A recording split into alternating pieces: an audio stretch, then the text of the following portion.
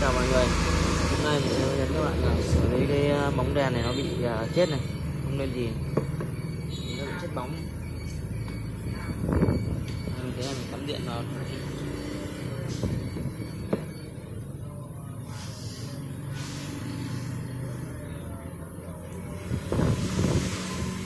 Bóng nó không lên gì đang bị à, chết. Thế thì các bạn phải đo cho mình xem là bóng nó nó bị làm sao. Bạn bạn đồng hồ về hai nhân một cho mình để xem sẽ đo bóng nó có chết hay không. Bạn sẽ đo lần lượt từng bóng một. Đây, bạn đảo chiều, đo một chiều này không được thì đảo chiều lại. Bạn thấy không? Mình sẽ đảo, mình sẽ đo lần lượt từng bóng một. Đây. Đo không nên gì này, đảo chiều lại. Đây, cứ lần lượt từng bóng một. Đây. Thì sau ờ, một hồi mình đo thì mình đã xác định được con bóng chết là con bóng ở đây các bạn. Đây có một con bóng chết này. có hai chiều đều không lên này. Đấy. bây giờ mình tiến hành mình tháo bóng led ra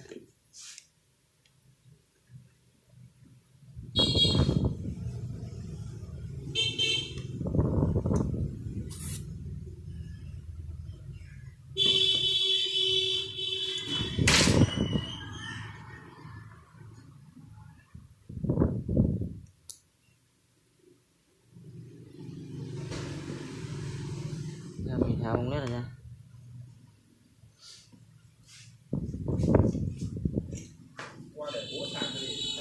Dạ.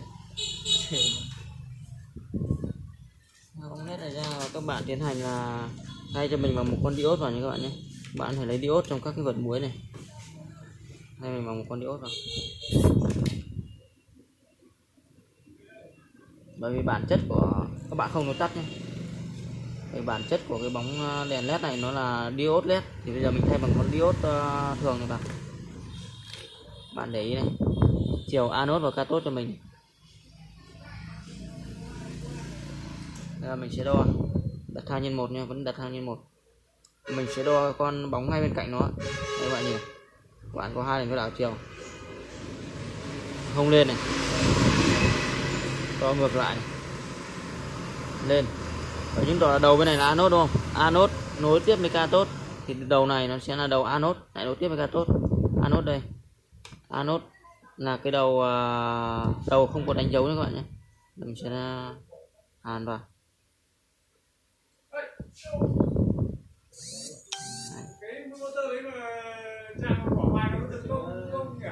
À, em không để ý bây giờ phải đo xem nó có giật không.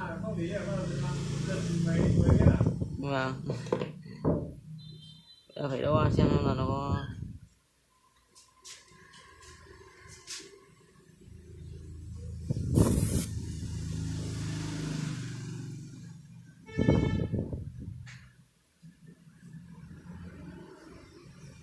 đây các bạn, mình sẽ hàn cái hàn một con diode hay hay con bóng chết bằng một con diode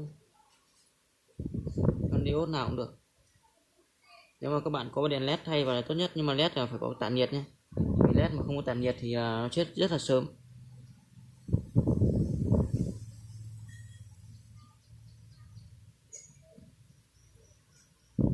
Đây, bây giờ bắt đầu cho nó chạy thử các bạn nha.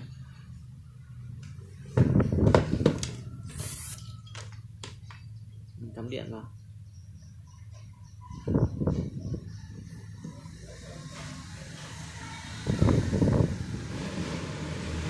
Bạn thấy không ạ? Vậy là cái bóng mình đã sửa thành công rồi nhé rất đơn giản.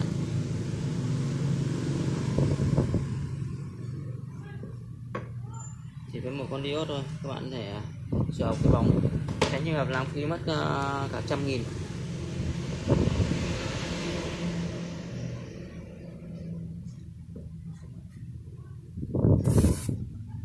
Đây các bạn